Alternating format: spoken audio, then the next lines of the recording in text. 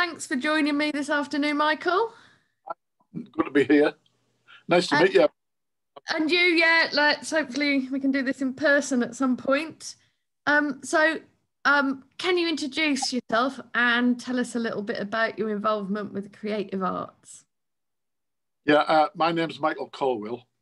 Um, I uh, first involvement would be around about the age of uh, four uh, when I uh, drew a horse. Uh, my mum kept years and it disintegrated about 10 years ago. Um, thing about it was that um, it had all its joints and its hooves and its mane and its uh, tail. And it was a piebald, uh, which was uh, un- unusual for someone to draw at that age for with that much uh, detail. I think it was um, the Rag and Bone Man's horse because it, it, was piebald. uh, and then uh, I went to junior school and started junior school, and I seemed to be topping art right through all my schooling uh, each term. I won a couple of uh, chocolate gold coins. about.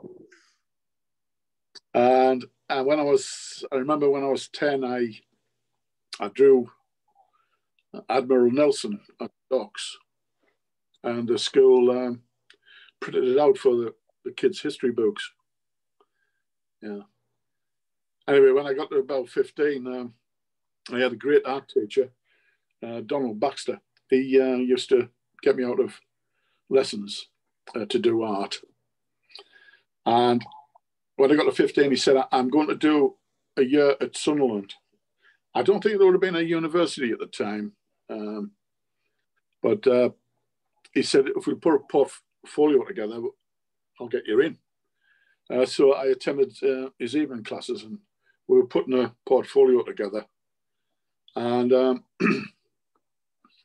as it happened, um, my dad put a stop to that. Uh, you know, going to art college. Uh, so I ended up going down the mines till I was about 18 at Easington Colliery, uh, which is a pity, put an end to that dream. So that's about it for that. I, um, I first got involved in that I had no hope of going to art college, um, so I took up guitar. Uh, I don't know if you see my guitar. So no. Absolutely. Um, so I uh, spent about four hours a day practicing guitar from the age of 15. Um, and when I was in the Cellar Club, playing in the Cellar Club in uh, Sunderland, we uh, a band member came in from a band called the Gas Board. And um, he asked me to join his band uh, as I was playing with a different band, another band at the time. And I turned him down, but it um, they changed the name and ended up being Roxy Music. Have you heard of Roxy Music? Bryan Ferry's Roxy Music. So I missed that chance. Um, yeah, so when I got about 21, I, I bought some oil oil paints and uh, started uh, trying to paint in oils, but it was um, uh, absolute garbage what I was putting out. Um, just trying to paint from memory and no no source material at all. But I kept on drawing and doodling, you know, mainly with a pencil. Um, yeah, so as, as my music started to take off,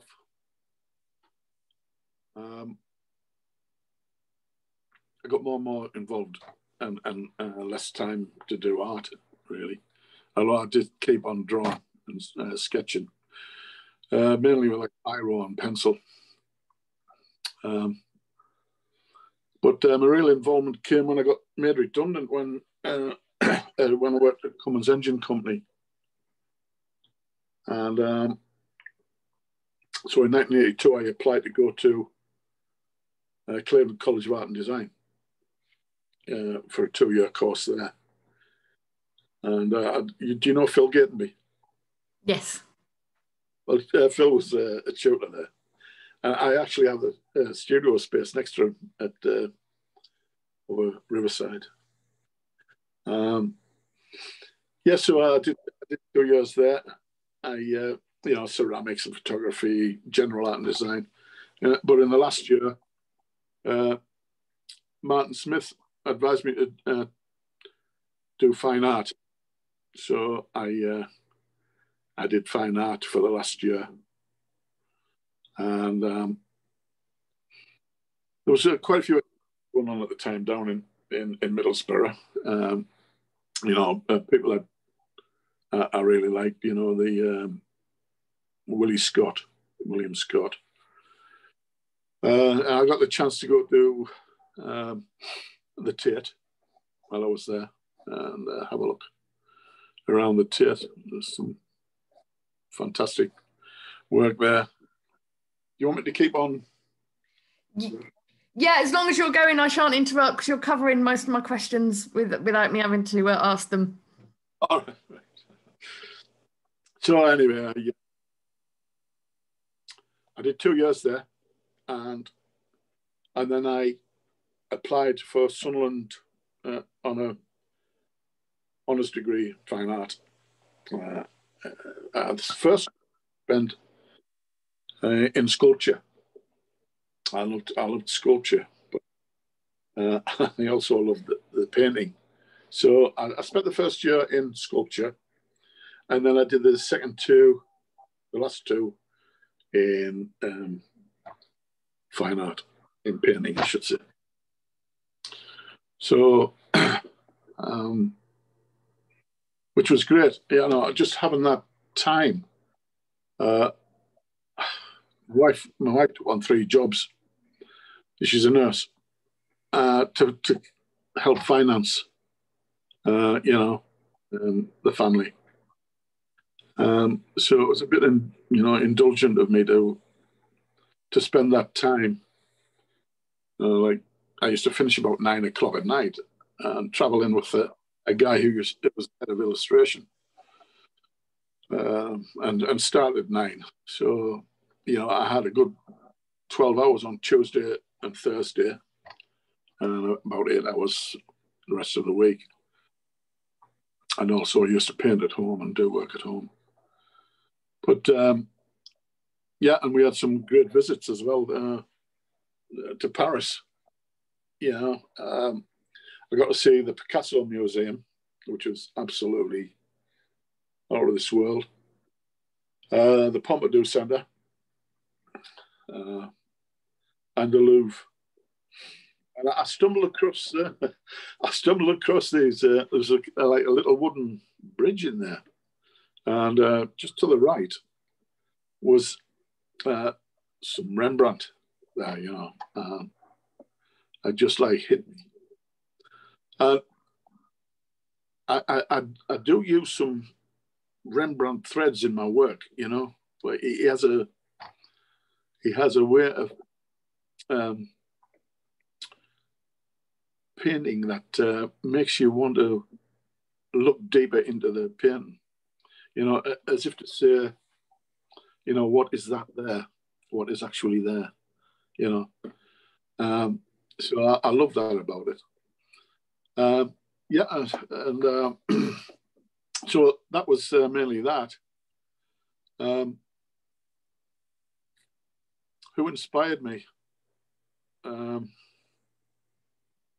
I think my mother uh, first put a pencil in my hand, and um, and definitely my art teacher, who um, regularly displayed my work uh, I know it sounds a bit like I'm bragging, but I, I went went back to him for a, um, after about 18 years at school. Uh, I'd left school, and I went back to him um, you know, for a reference to go to the art college, and um, we were talking out on the playing field, and he, he said, "I've never had a, um, a pupil through this school before you or after you with as much talent, you know." And that that was uh, a lovely thing, lovely thing. Um, so my teacher and my wife, who, like I said, took on three jobs to to help me through. So I finished my honours degree. Um, I got didn't end up with a good grade. I, I, my dissertation let me down. But uh, one of my tutors said that he got six firsts. Um, yeah, I don't know. Anyway, I I um, won the Backhouse Drawing Prize there, and I uh, had three paintings in the Shell UK, um, which went on tour to several universities. I think it, uh, after Lowestoft, it was held at Lowestoft. Um, yeah, so and I took inspiration from my tutors, Annette, Annette, Chevalier, yeah, Annette Chevalier. I don't know if you know Annette. Uh, I think she works for us now. Yeah. Um, and the things that inspire my work. Um, when I was a child, uh, I had uh, quite a bit of abuse and mental abuse and physical abuse um, of my father. And um, what inspired me was I used to go down to Hawthorn Dene, and that's what these uh, paintings uh, reflect. That um, it was a place, it was a, couple of miles away, about two or three miles away, and I used to run across the farmer's fields, hoping that the farmer wouldn't catch me and then into the Dene, into the amongst the trees, you know, the big canopies overhead and um, big black trees that had fallen that had been died and fallen across the ravine. And then I used to um, follow the ravine, follow the uh, stream, quite a heavy stream, and not quite a river, but quite heavy at certain times of the year. Um, through past, uh, you know, all the fields, well, stretches of bluebells and uh, ferns. And then uh, come across this circle uh, that had been built by the Romans. There was a Roman baths at Easington. And uh, not that many people use them, but uh, anyway, and then down on the beach, down on the beach. And after I'd been there, you know, playing down there for a while, I would come back up through the Dene and across the beach banks this time. And on the top of the beach banks, there's these clumps of uh, bracken, like black, uh, small, stumpy trees that I use in my images as well. Um, and the, um, I, I would think, you know, I use it, it's not a heart, that I have in my picture. I think I'm not quite sure, but I think it comes from the the the, uh, the ravine, ravine, the shape of the ravine. Um, but strangely enough, when I looked at uh, some recent photographs of the beach, there's a big black kind of shape, very much like that, on on one of the um, walls of, of the beach banks. So I think that's where that comes from. It's a really striking image, and it kind of makes it even more magical. The fact that you don't quite know what it is. I think there are. It's like you're talking about Rembrandt. Like you really get uh, sucked into like the depth of the vision in there, but also like there's so much to, to ponder within these images. Yeah, well, I I, I uh, also think about um, you know, like the, the artists I, I um, got, I think I got influenced off is, um, you know, Picasso is um, is uh, the space and the time and space because uh, we know that the way he was influenced of uh, Einstein's theory of relativity in 1906, uh, and uh, that I did a little experiment. I set up a a still life on a table, and I drew it from just line drawn from different points of view. So, you know, when I'm here, that bottle on the left, and then when I'm over there, I'm looking at the bottle on the right, and you know, so that, and then with artist license, add your shade, and, and you know, and I, I, think that's how cubism came about um, through that. So I, I use uh, elements from some drawings that I did, uh, you know, from across the beach banks, you know, know that, uh, like I say, the bracken. I think it's the, um, I think it's the uh, stream running through. There's stones on the um, on the beach, so it's it's a it's like a journey, uh, a little journey. Um, elements from a little journey, I would think. But also through that, uh, through that, I have like threads running where I, I use um, opposites, you know, like uh, hard edges and soft edges that I'm aware of, um, uh, and near and far. Uh, and if you if you look at some of them, you can see there's a kind of horizon there.